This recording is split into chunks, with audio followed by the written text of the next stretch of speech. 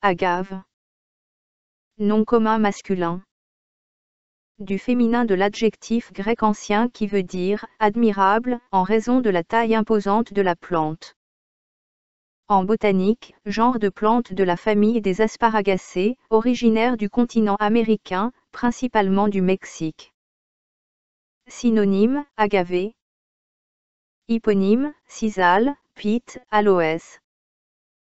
Note, les dictionnaires classiques et l'Académie française le décrivent du genre masculin, mais on le trouve parfois au genre féminin.